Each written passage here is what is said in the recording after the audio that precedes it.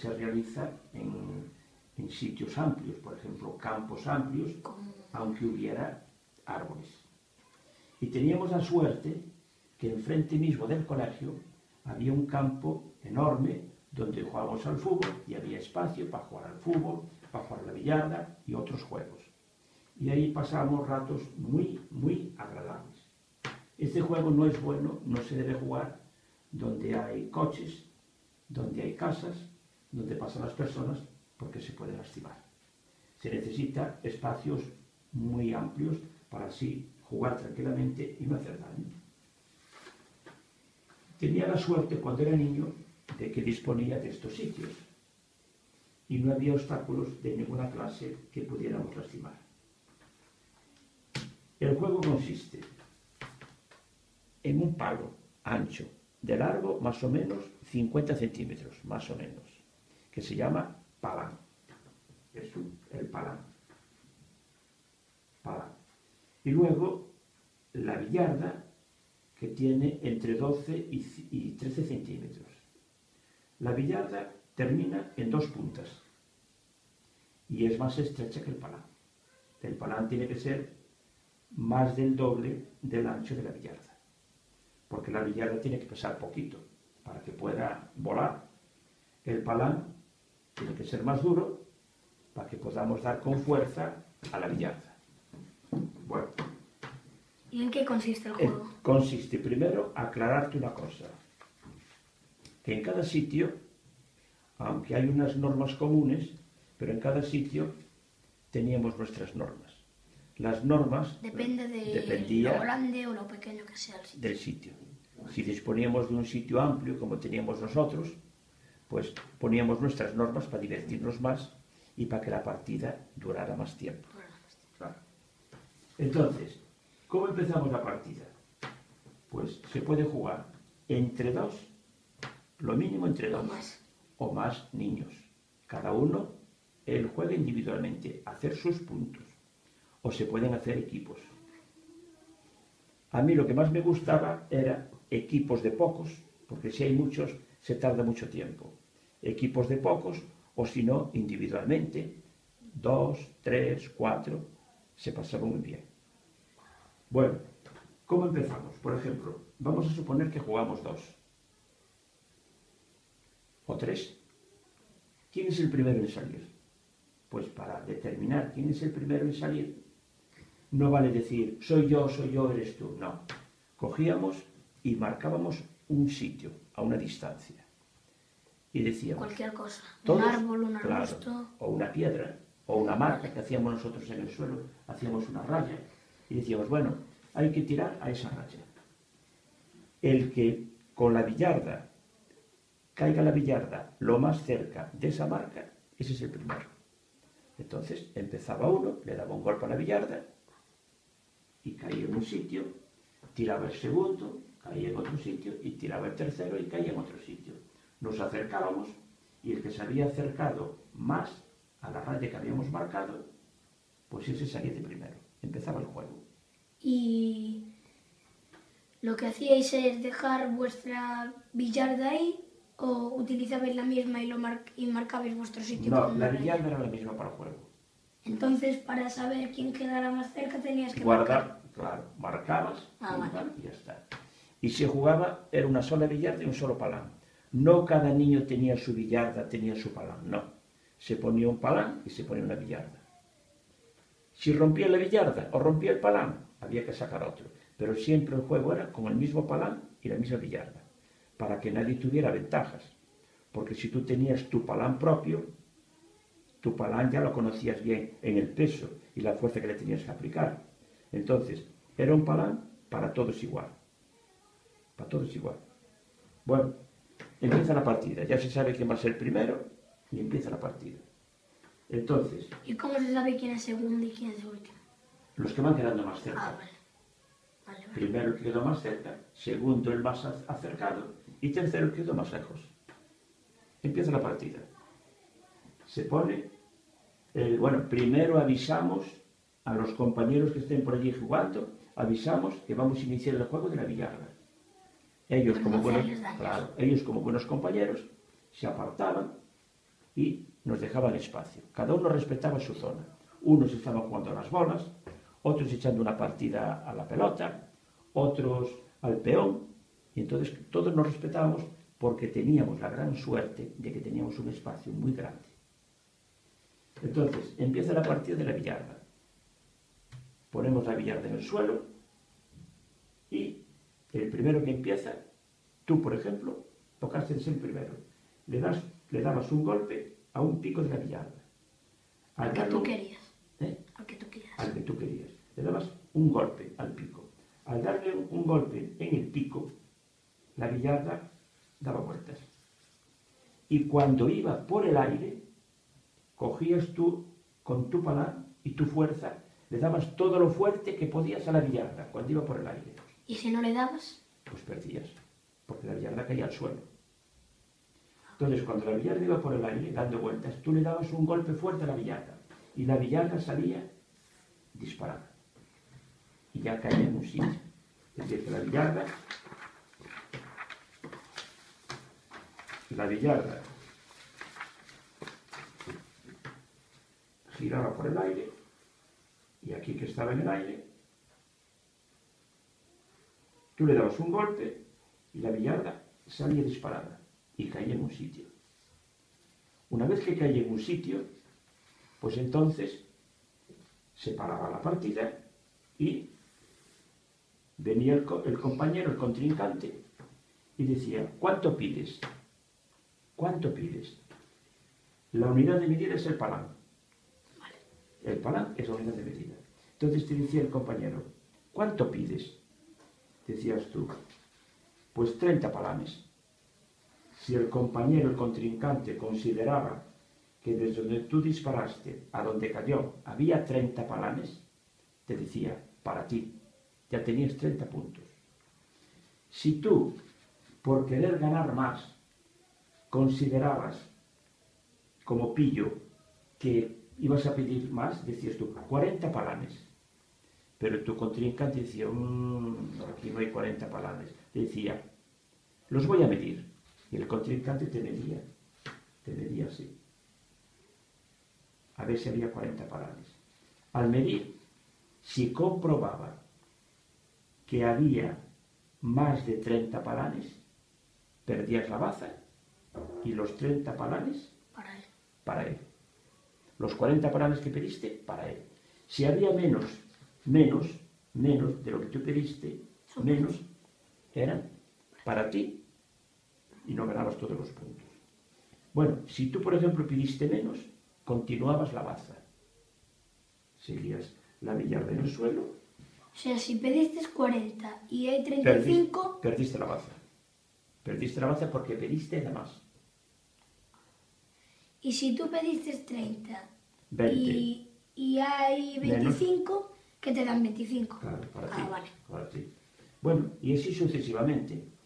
En el momento que tú pidieras más, más palanes de los que verdaderamente hay, porque tu, tu contrincante los mide, él mide y dice, aquí hay 30 palanes, él me pidió 40, perdió la baza, y los 40 para mí.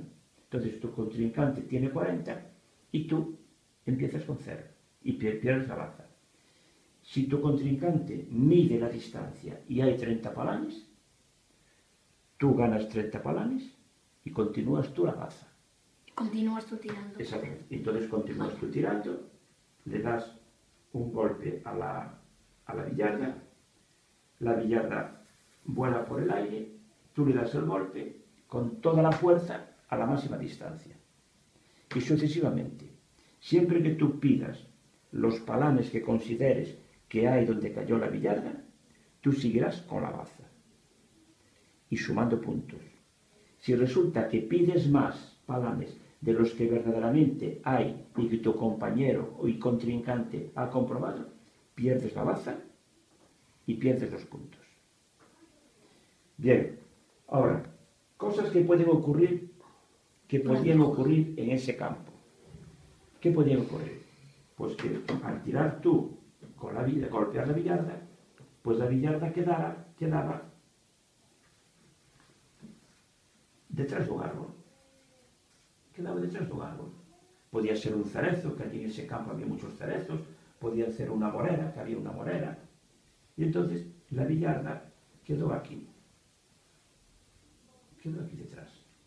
Y tú estabas aquí. Claro, coincidió que la billarda cayó detrás del árbol. Entonces vas tú y dices, oh, tengo un árbol delante. Si habíais establecido que el juego era 300 palanes, dices tú... Este Depende de los puntos que habíais establecido. Si tú habías establecido que la partida habíais establecido de mutuo acuerdo, sería de 300 palanes, dices tú, ya está, ya es mía. Pido 300 palanes. Y dice tu contrincante, oh, ¿cómo pides 300 palanes? Sí, pido 300 palanes.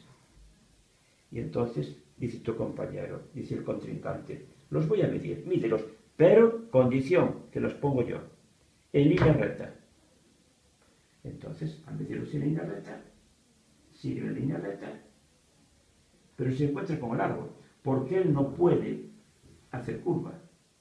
La medida siempre se va a hacer en línea recta, no se puede hacer curveando. Entonces, como la medida tiene que ser en línea recta, se encuentra de frente un árbol. Y claro, él no puede avanzar. Tiene que subir el árbol y bajarlo. Para poder avanzar, tendría que subir el árbol hasta la punta más alta del árbol y bajar.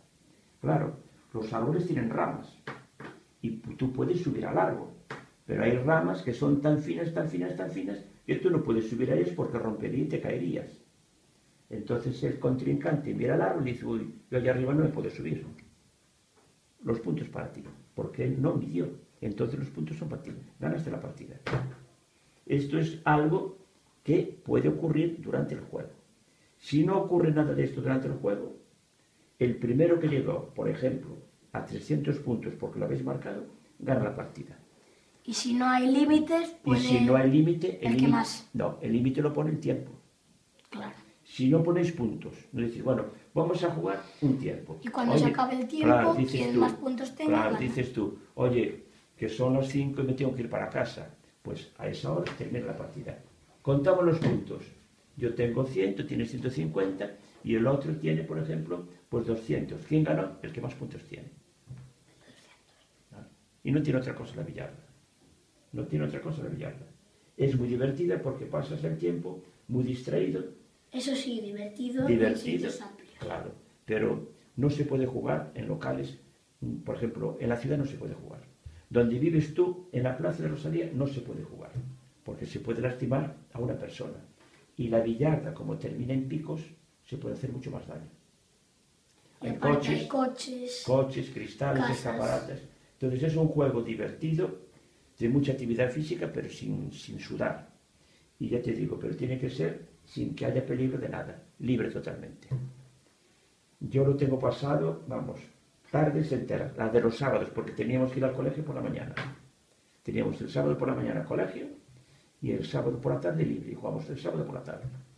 También jugaba la pelota, que me gustaba mucho, y al peón, el otro juego. Y recreo. Y en los recreos también. Lo que pasa es que en el recreo teníamos media horita escasa y no nos daba tiempo mucho.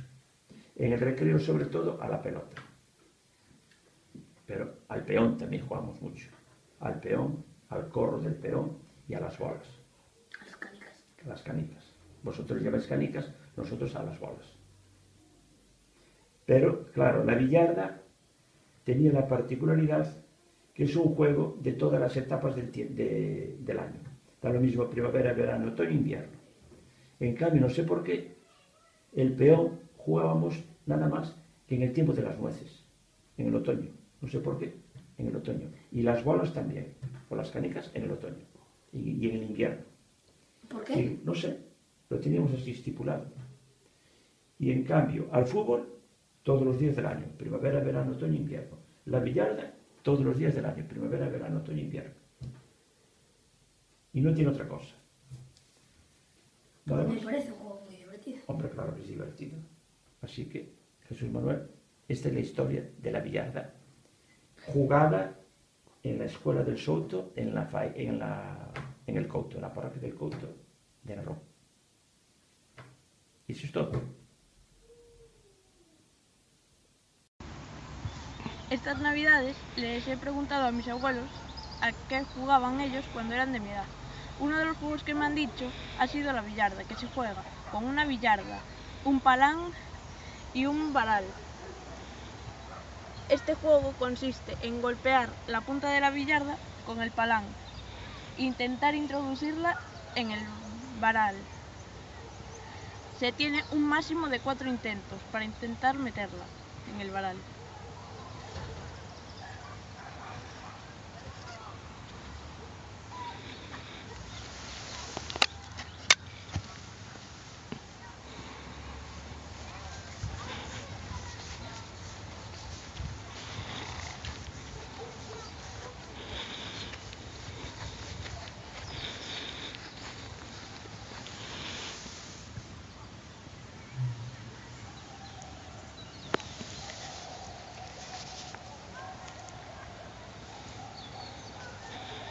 Además de estos juegos, hay otros, como los trombos, la canica y las muñecas.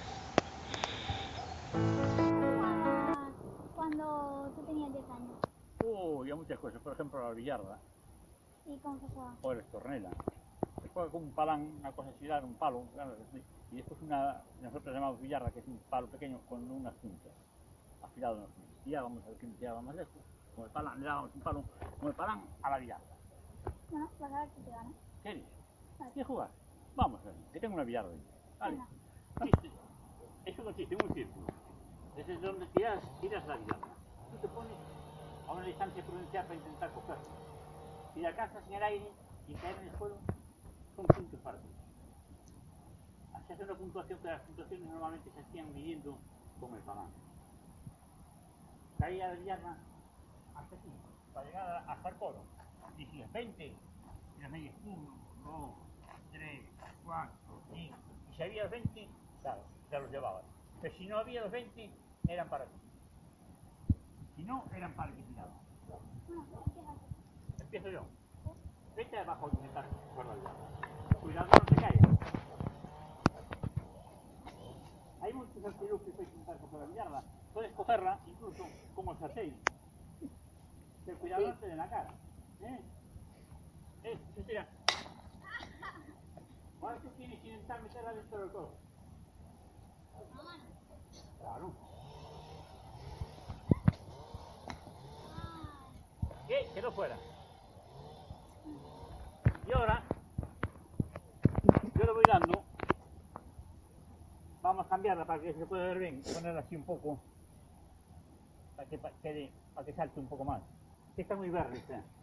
Y le dabas así. Ah. A ver si sale. ¡Au! ¡Nada! Eh, no, no, sí, no vale la madera. Está, está muy verde y pesa mucho. Claro, la culpa es de la madera. Sí, sí, sí, sí. Esto se hace normalmente con palo, tos, con palo de tocho. Sea seco. Entonces dabas aquí en la punta. Cogía saltaba. Y tras. A ver si logramos hacer una para que lo veas. Una que se para de muestra. Au.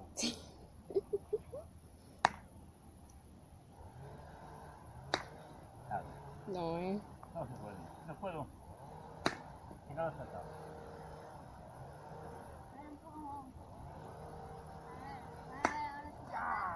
¡Ay, pero consiste en eso, darle, darle ahí en la punta. ¡Eso es! ¡Eso es! ¡Eso es! Venga otra. Y sigue, se le daban tres veces.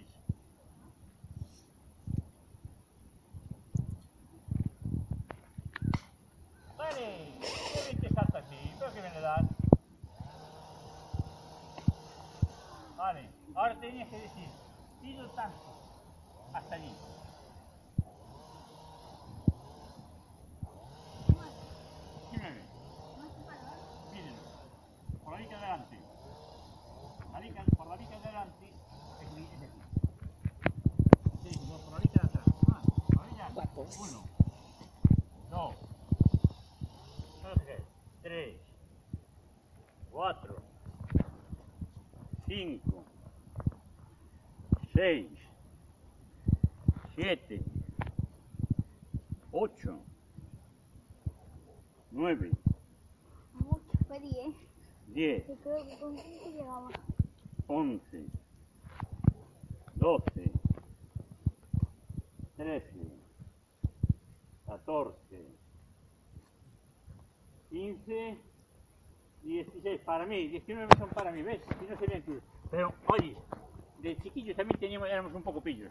Había que ser un poco pillos. Y entonces venías, procurabas venir rápido.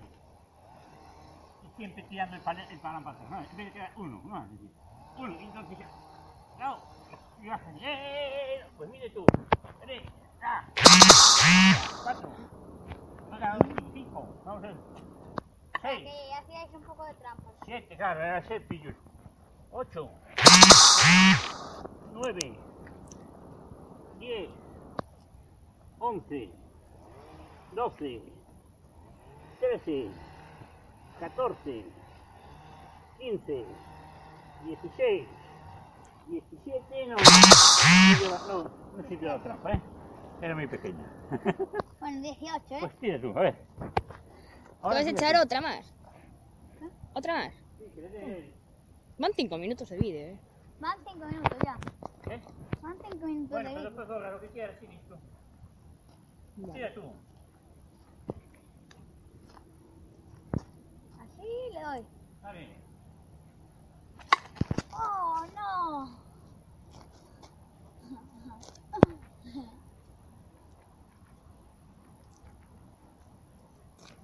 Ah, Hecho. Eh, tiro yo. Y también sabes cómo se tiraba muchas veces. Ya cuando ibas cogiendo experiencia. Así es así. No, no, pero bueno, aquella no fallaba. ¿eh? Ay, sí, me va a dar.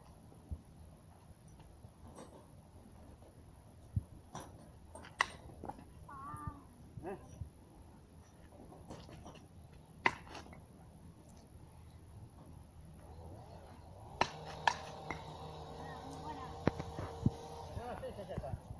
Que sí. Mira. O equilibrio ahora compadre. Enrique, vete a acercarte. Mira. Mira. Ah, Ahora, mira.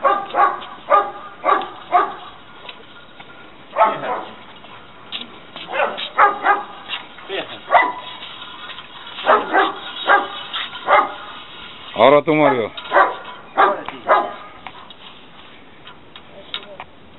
Ahí. Vamos. Ahí, vamos.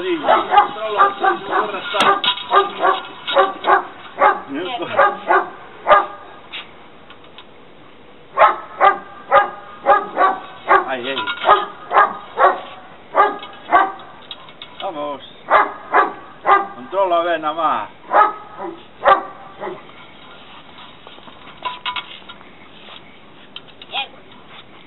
A ver. no, yo no. Hola, yo soy la abuela de Carlos Gil y cuando era niña no había tanta tecnología y nos lo pasábamos pipa en la calle jugando simplemente a la chapa.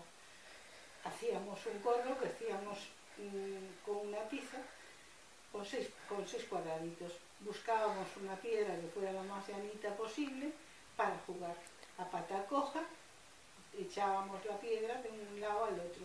No podía ni caer fuera del, del cuadro y lo pasábamos. Ya. A que, a que xogabas cando eras pequena? Aos amigos xogaba a saltar a corda e, e o escondite. Depois a facer, a facer muñecas de, de trapos, porque daquela non se compraba. hai que había que facelos, e coches, os, os nenos facían coches. E como se xogaba? Como se xogaba? A corda, pois, a saltar, dúas daban a corda, e unha entraba, e se perdía, e xa tiña que entrar outra. Era a xogar, a saltar. E, e despois a, a esconderse, pois a esconderse por, por onde podía, por, no colexio había, había un alpendre, e a esconderse por onde non te vía. E despois no recreo facíamos muñecas. Hola, me llamo Emilio y voy a enseñaros a jugar a la carabañola.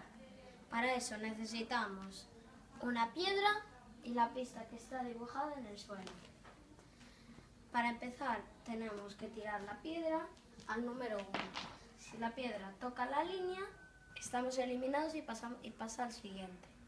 Si no, te pones a la pata coja y saltas al 2. Si pisas la línea en cualquier sitio, estás también eliminado. Y si no, sigues.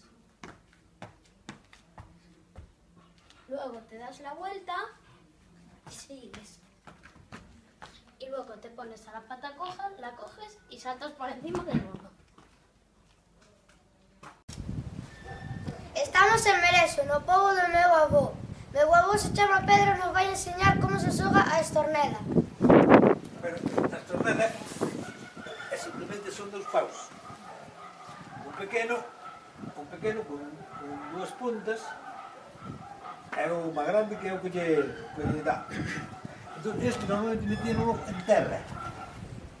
Facían un rejo, e metíanlo en terra, para que levantara a punta. E como día hai cemento, e antes non había, pois, eh, metemos este pau. Golpeamos, damos aquí, damos e o que máis leso se atire é o que gana. Así de sencillo.